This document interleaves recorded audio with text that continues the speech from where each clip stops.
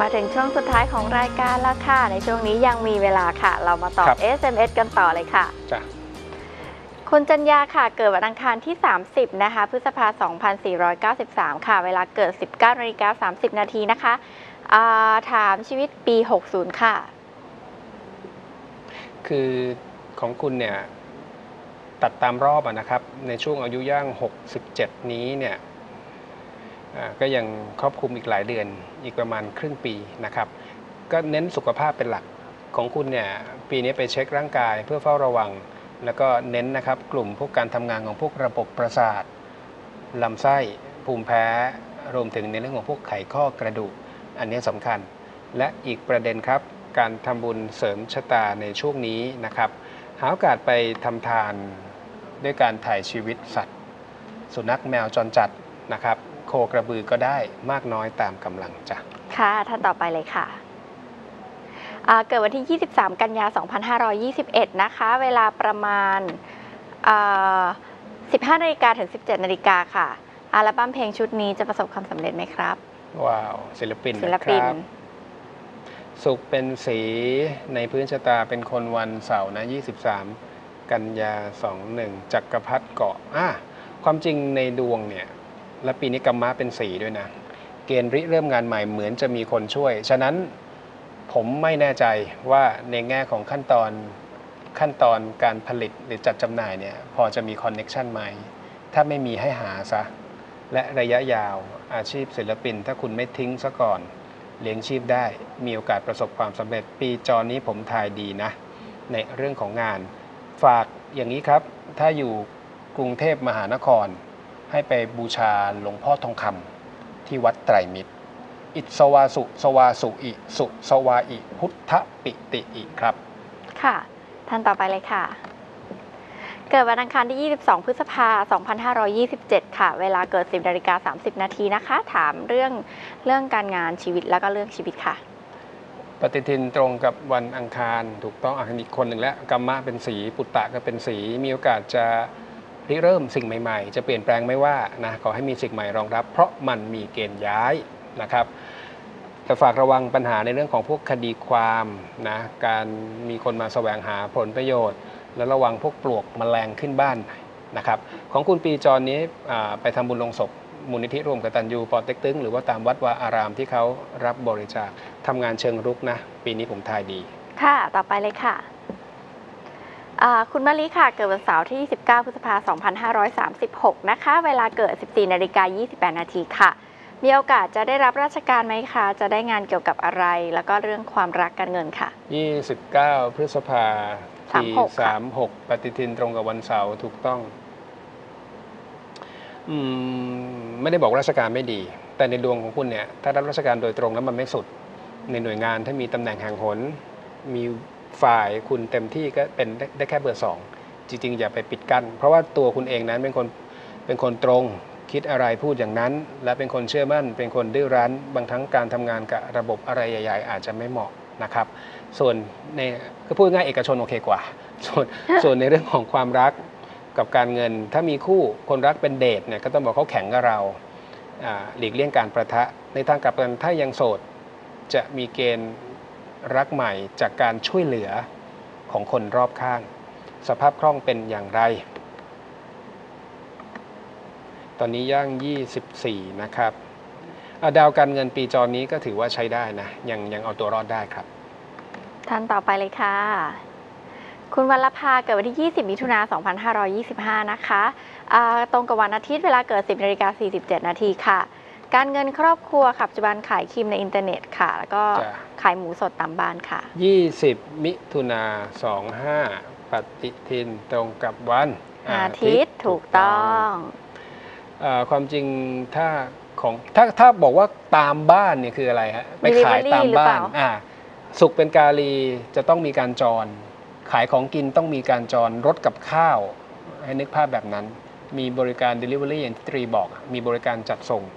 ส่วนพวกคอสเมติกครีมผลิตภัณฑ์ในเรื่องของความงานก็เน้นในเรื่องของการจัดส่งเหมือนกัน แต่ถามว่ามันฉลกหรือไม่จริง ๆ ก็ไม่มากนะทำแบบค่อยๆเป็น ค่อยๆไป ค่อย ๆ ขยับ แต่ของกินถ้ามีการจรถือว่าสมรูป ค่ะท่านต่อไปเลยค่ะ คุณเกตแก้วเหรอคะอาจารย์ น่าจะพิมพ์ผิด น่าจะเป็นตัวพิมการันพ์ผิดแน่เกตเลยแก้วเกตเพแก้วราะว่าวันค่ะศุกร์ก็การันผิดเหมือนกัน วันศุกร์ที่ 26 ตุลา2550 ค่ะครับอ่าเวลา7นาฬิกา28 นาทีนะคะ ถามลัคนาราศีเกิด แต่ไม่ได้บอกจังหวัดมานะคะใส่จังหวัดก็ถามเรื่องด้วยสุขภาพค่ะ ไม่ค่อยแข็งแรงตั้งแต่เกิดเลย แม่อยากจะให้บวชเรียนค่ะเนี่ยดวงเนี้ยถ้าถามถึงปัญหาสุขภาพ ผมก็ให้ระวังอาอย่างเสาร์ราหูเนะครับ แม้กระทั่งดาวอาทิตย์ คืออย่างนี้ฮะก็อาจจะมีให้ระวังพวกสิ่งแปลกปลอม หรือว่าอาการที่ไม่ค่อยชัดเจนแต่ป่วยอะไรพวกนี้แล้วเป็นแล้วก็หายช้า จะเป็นทรงแบบนั้น เรื้อรังยืดเยื้อ ถ้าอยากจะให้บวชเรียนตอนนี้ย่างสิบขวบอะความจริงวงกลมมันก็ตกนะตกในเรื่องของการบวชเรียนนะ แล้วก็ขณะที่บวชเรียนก็น่าจะมีคนอุปถัมภ์ช่วยเหลือในในแง่ของการศึกษาพระธรรมวินัย ฉะนั้นปีจรเนี้ยย่างสิบขวบลองพูดคุยกับน้องดูนะครับ ก็มีมีหนึ่งมีเกณฑ์แล้วก็สองต้องบอกว่าเป็นเกณฑ์ที่ดีด้วยจ้ะค่ะ ต่อไปเลยค่ะคุณธินกรค่ะ เกิดวันพฤหัสที่ 12 กรกฎาคม2533 ค่ะ เวลาเกิด 8 โมงถึง 9 โมงค่ะ ตอนนี้ว่างงานนะคะ จะสอบใน10ตำรวจในวันที่ 4 ธันวานี้ค่ะ ตำรวจ ตำรวจค่ะ ใกล้จะสอบแล้วค่ะ อีกสี่วัน อ่าโอเคนะ คือคือถ้าเทียบถึงในเครื่องแบบเนี่ย ผมผมก็เชียร์ตำรวจมากกว่าทหาร ในดวงเฉพาะในดวงของคุณนะครับเพียงแต่ว่าต้องวิ่งเต้นเหนื่อยหน่อย แต่ประเด็นคือเกณฑ์ในเรื่องของการสอบเนี่ยทั้งย่าง 27 อย่างนี้ครับ ถ้า 27 นี่ยังไม่ได้ 28 อยากให้ลองปีหนึ่งนะจ๊ะ ย่าง 28 อยากให้ลองปีหนึ่ง ก็เสริมชะตาหน่อยละกัน ช่วงนี้พระเคราะห์ที่เข้าเสวยอายุกับพระเคราะห์ที่เข้าแทรกกันไม่ค่อยดี เป็นคู่ศัตรูกันคือราหูเสวยพุทธแทรก ก็หลวงพ่อโตวัดป่าเลไลครับโตเสนโตวระธรรมเมนะโตสัทธานเนสิเววะเลโตสังอากาสิฉันตุนังโตสะจิตตังนามามิหังควบคู่กับคะพุทธปันทูธรรมวะคะวันละ 12 จบ ค่ะ ท่านต่อไปเลยค่ะ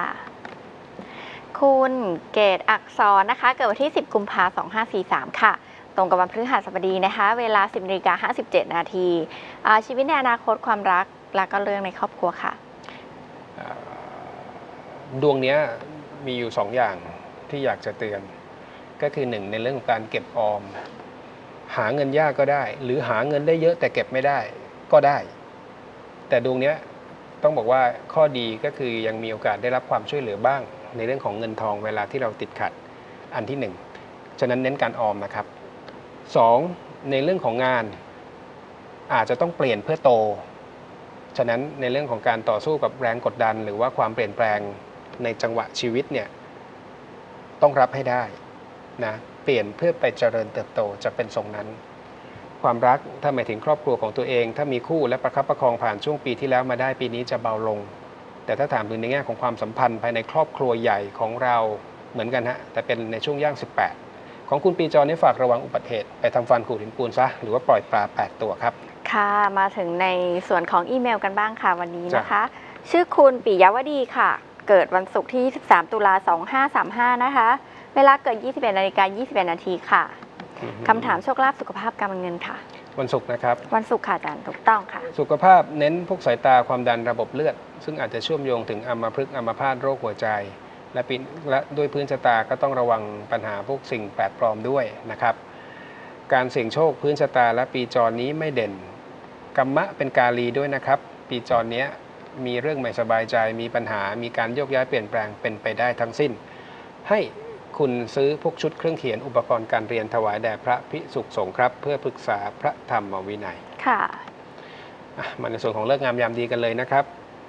พรุ่งนี้ก็สามารถประกอบการมงคลได้หลายท่านที่ถามเข้ามาก็ดูตามนี้เลยนะครับ เงื่อนไขหรือข้อยกเว้นอะไรก็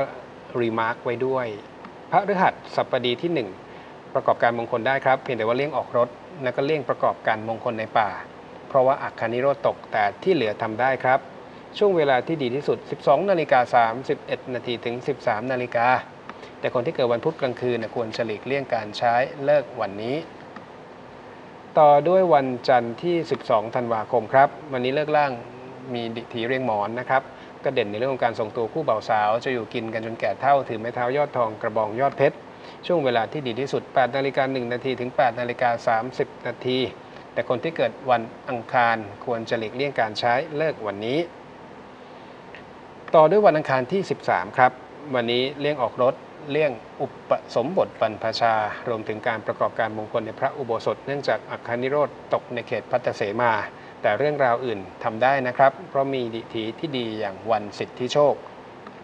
ช่วงเวลาที่ดีที่สุดครับ 17นาฬิกา31นาทีถึง 18นาฬิกาแต่คนที่เกิดวันพุธควรจะหลีกเลี่ยงการใช้เลิกวันนี้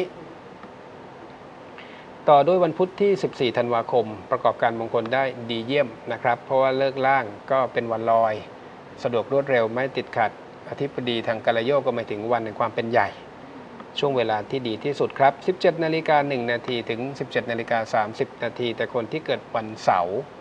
ควรจะหลีกเลี่ยงการใช้เลิกวันนี้ ต่อด้วยเสาร์ที่ 17กาลโยกเป็นวันธงชัยครับเพียงแต่ว่าวันนี้อัคคนิโรธตกในป่า ก็หลีกเลี่ยงการประกอบการมงคลทางน้ำนะครับ ที่เหลือก็สามารถที่จะดำเนินการได้ ช่วงเวลาที่ดีที่สุด 7 นาฬิกา 31 นาทีถึง 8 นาฬิกานะซึ่งในช่วงระยะเวลาดังกล่าวเนี่ยเลิกบนก็เป็นราชาเลิกก็เหมาะนะครับสำหรับคนที่จะเข้ารับตำแหน่งการขึ้นบ้านมันบ้านใหม่ เปิดเปิดป้าย เปิดกิจการเข้าหาผู้ใหญ่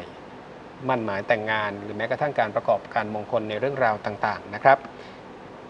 แต่คนที่เกิดวันพระฤหัสบดีเนี่ยควรจะหลีกเลี่ยงการใช้ฤกษ์วันนี้ครับ ค่ะ ได้ฤกษ์กันไปแล้วคาดว่าน่าจะจดกันทัน หรือใคร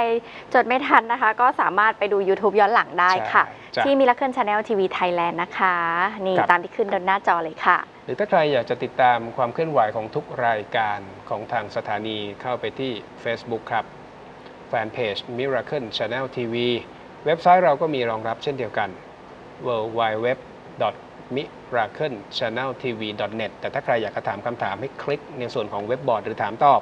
หรือใครสะดวกส่งอีเมลนะทุกวันนี้ค่ะสมาร์ทโฟนอยู่ติดมือ ง่ายมากเลยค่ะ ส่งอีเมลนะคะ ตามที่ขึ้นหน้าจอค่ะ miracle underscore ch ค่ะ at hotmail com นะคะ และวิธีเดิมๆยังไงก็จะไม่ทิ้งในเรื่องของจดหมาย ใครไม่ถนัดอุปกรณ์ไอทีคอมพิวเตอร์ จดหมายมาได้เลยค่ะ ที่เอ่อที่อยู่นะคะ 27 ทับ1ค่ะหมู่ 4 นะคะ ตำบลบางม่วง อำเภอบางใหญ่ จังหวัดนนทบุรี 11140 หรือว่าอยากจะโทรมาสอบถาม หรือเขียนหมายเลขโทรศัพท์กำกับไว้ที่ส่งด้วยก็ได้นะคะ ครับ0831997972 ค่ะจ้ะน่ะช่องทางการติดต่อของเราทั้งหมดเลยค่ะ ก็ในส่วนของ